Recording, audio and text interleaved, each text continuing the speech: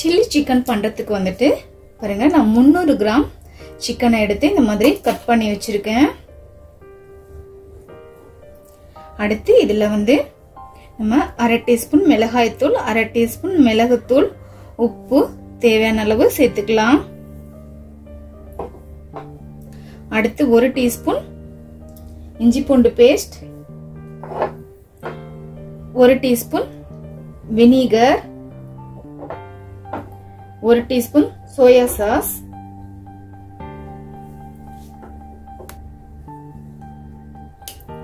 பாருங்க அடுத்து ஒரு முட்டை.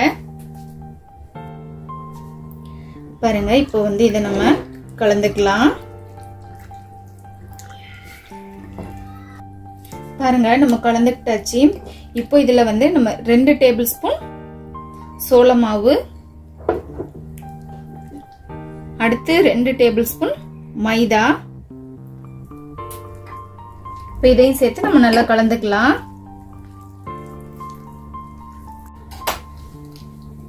பாருங்க நம்ம இதை கலந்துக்கிட்டாச்சு. இப்போ இது வந்து நமக்கு ஒரு அரை மணி நேரம் அப்படியே இருக்கட்டும் ஊறட்டும்.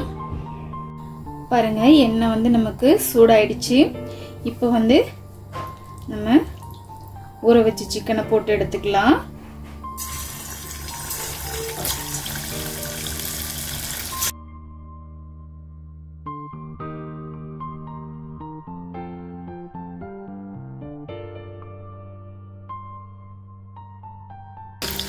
பாருங்க. இப்போ இந்த சிக்கனை வந்து நம்ம திருப்பி விட்டுக்கலாம்.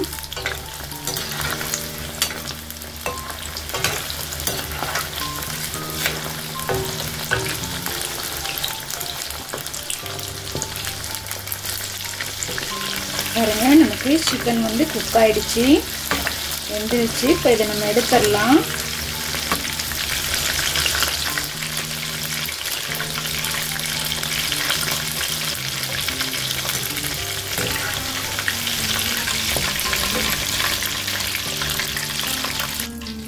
பாருங்கள் சிக்கனை பொறிச்சு எடுத்தாச்சு.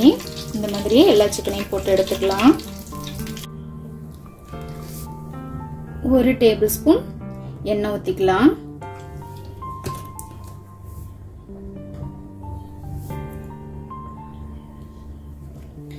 பாருங்க இப்போ இந்த எண்ணெயில் வந்து இஞ்சி சேர்த்துக்கலாம். நல்லா பொடி பொடியாக துருவி வச்சுருக்கோம். அடுத்து பூண்டு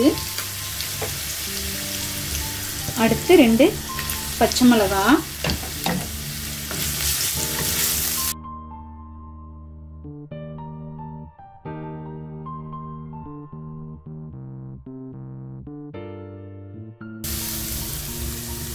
அடுத்து வெங்காயத்தை இந்த மாதிரி கியூப் கியூப்ஸாக கட் பண்ணி வச்சுருக்கோம். இதை சேர்த்துக்கலாம்.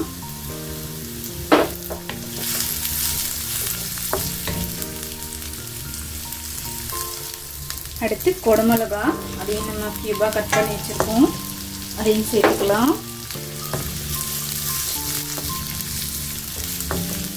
சேர்த்துட்டு இப்போ இதை கொஞ்சமாக வதக்கிக்கலாம். கொஞ்சமாக உப்பு சேர்த்துக்கலாம்.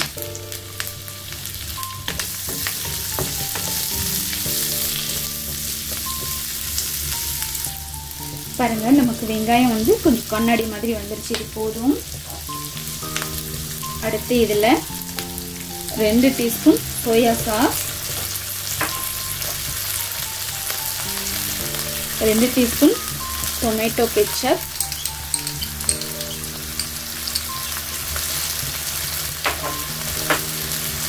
ஒரு டீஸ்பூன் ரெட் சில்லி சாஸ்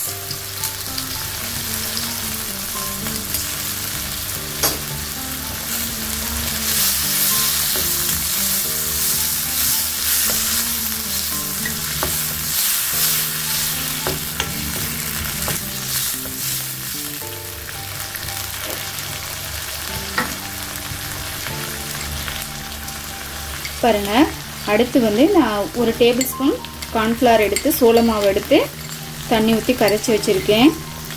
இப்போது இதை வந்து இதில் சேர்த்துக்கலாம்.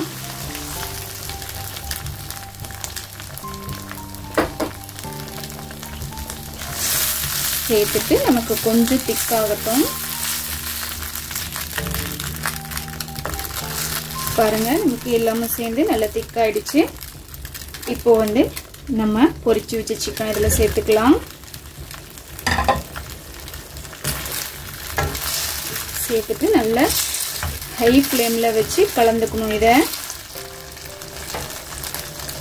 பாருங்க நம்ம எல்லாமும் சேர்த்து நல்லா கலந்துக்கிட்டாச்சு. இப்போ கடைசியாக ஒரு டீஸ்பூன் வினிகர் சேர்த்துடலாம். வினிகர் சேர்த்து கலந்துக்கிட்டாச்சு.